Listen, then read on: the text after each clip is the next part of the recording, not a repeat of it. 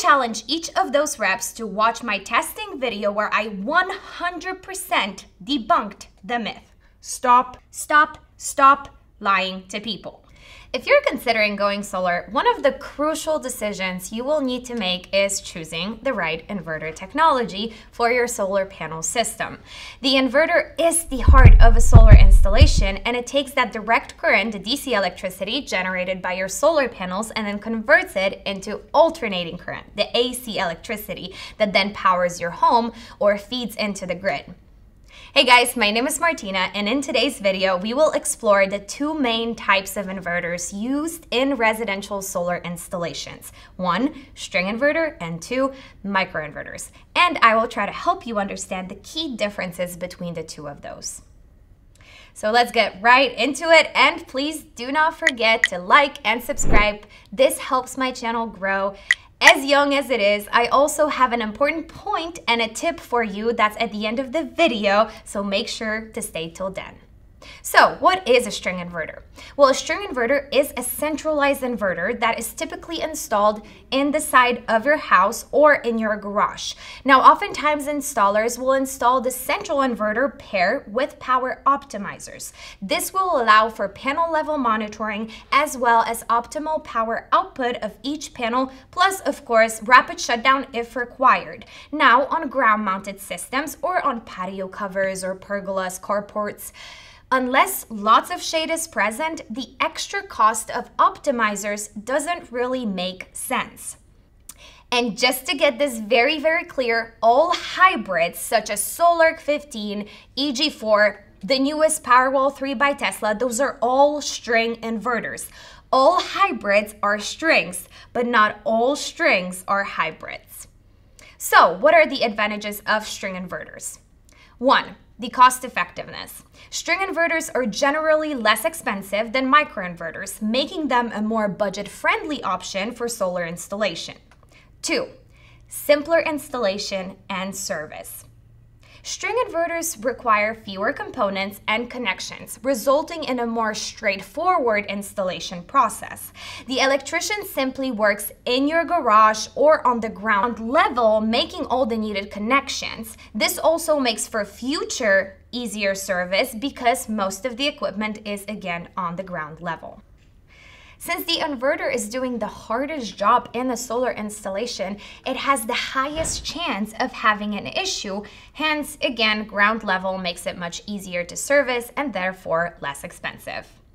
And finally, three, easy future expansion. Not only you should be able to add more panels to an existing string inverter with no need for extra inverters, now obviously up to a point, like if you're adding 15 panels, you will need an extra inverter, but it also makes adding batteries in the future a much, much easier process because you have more options of DC as well as AC coupling the batteries. Now, what are the disadvantages of string inverters? Well, before I get to them, I do need to clarify a disadvantage that most sales reps will tell you that with string inverters, if one panel is shaded, it affects all the other panels on that particular string as well. Everybody refers to this as Christmas lights effect.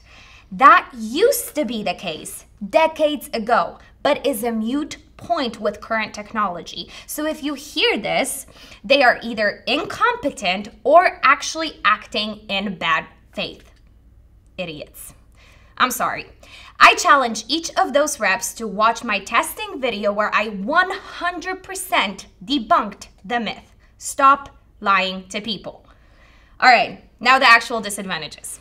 So, one, is actually smaller efficiency in severe shading. So if your roof is heavily shaded, string inverter by itself might not be the way to go. Adding power optimizers or microinverters might be a much, much better idea.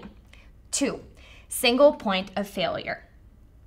Now, since all of the panels are connected to a single inverter, a failure in that one inverter can actually bring down the entire system until it is repaired or replaced. And three, limited panel level monitoring. String inverters typically provide string level monitoring, but lack the ability of monitoring performance of individual panels. Now you can, of course, add those power optimizers and get the panel level monitoring if you so wish. Now we will talk a little bit more in detail about that in a few minutes as well. For example, with Powerwall 3 or with Sol-Ark SMA inverter, you get string level monitoring, so just smaller groups of panels.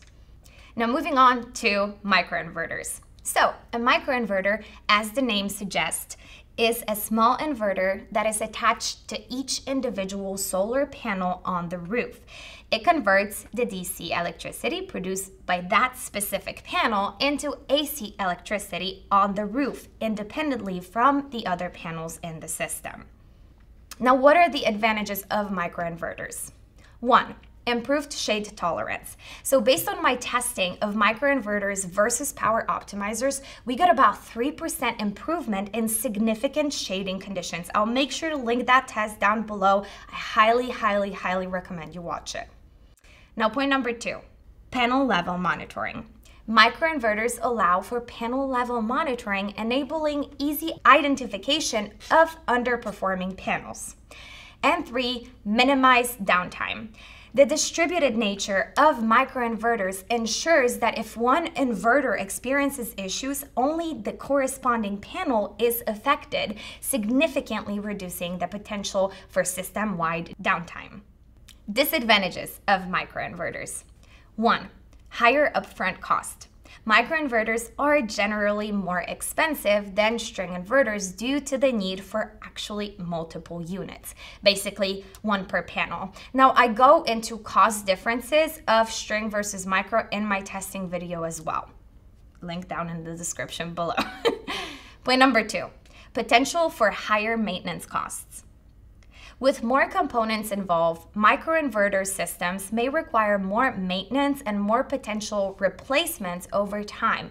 Also, keep in mind that the inverter will be located on top of the roof and not in your garage, which can lead to a higher labor cost when fixing a single unit.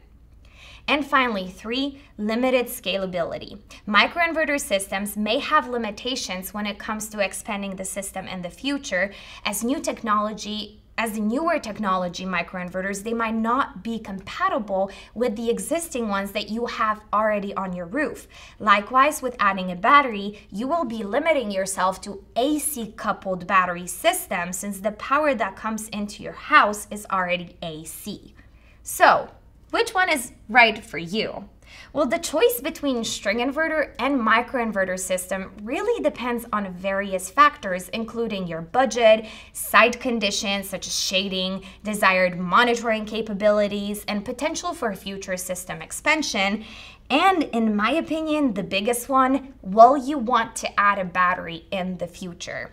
If you don't deal with a lot of shading, I don't understand why using simple string inverter, even with no optimization, would be a bad idea. Now, it would definitely bring the fastest return on investment, which is literally what everybody is after. Now, if you are dealing with a small system and lots of different arrays, maybe the extra cost of micros is worth it for you. Now, regardless of shading, bigger systems such as 10, 15 kilowatts, or even above 20 tend to do much better price-wise with string inverters, whereas smaller systems below 10 or even 6 kilowatts might actually come out cheaper with microinverters. Now, I do want to bring up an idea of panel level monitoring because most of the time when we replace the microinverter or power optimizer, in 99% of cases, it is not the panel, but it is the unit itself that has failed. So sometimes I wonder, are we really adding something to the panel to tell us when that particular thing fails? You get my meaning? now, I highly recommend, again, you watch that other video where I talk about which one I would install or I have installed on my three homes so far. I'll link that as well for you down below. Now, ultimately, consulting with a reputable solar installer and considering your specific needs will help make you a much informed decision between the two of these inverter technology. And I truly, truly hope that my, that my video was helpful to a point. Now, finally, the tip.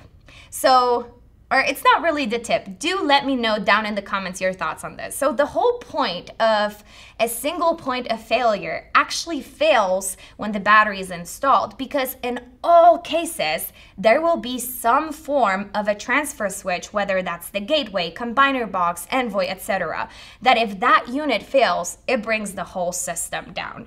Share your thoughts down below if the whole one point of failure still applies with the battery system and what your thoughts are. And again, thank you so much for watching and I'll see you in my next one.